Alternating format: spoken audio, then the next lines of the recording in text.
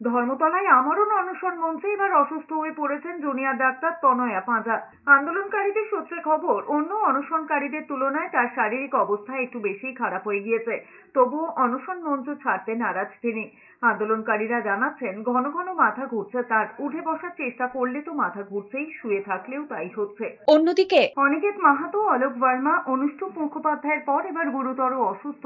আন্দোলনরত জুনিয়র চিকিৎসক পুলস্ত আচার্য তবে চিকিৎসায় সাড়া দিচ্ছেন তিনি।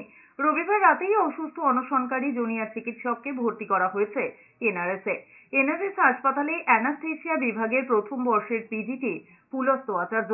ইউরিনে কিটনের মাত্রা বেড়ে বমি বমি ভাব রয়েছে পুলস্ত আচার্যের, জানালেন এনআরএস এর মেডিকেল বিভাগের বিভাগীয় প্রধান জয়দীপ দেব। তিনি এও জানিয়েছেন, দীর্ঘ সময় না খাওয়ার জন্য মূলত এই সমস্যাগুলো হয়েছে। এছাড়া তার শরীরে জলের পরিমাণও কমে গিয়েছে। বর্তমানে পুলস্তের চিকিৎসার জন্য পাঁচ সদস্যের একটি মেডিকেল টিম গঠন করা হয়েছে। সেই দলে রয়েছেন nephrology, cardiology, medicine chest medicine, anaesthesia বিভাগের প্রতিনিধিরা। এও জানানো হয়েছে, তার নানা রকমের পরীক্ষা নিরীক্ষা করা হবে।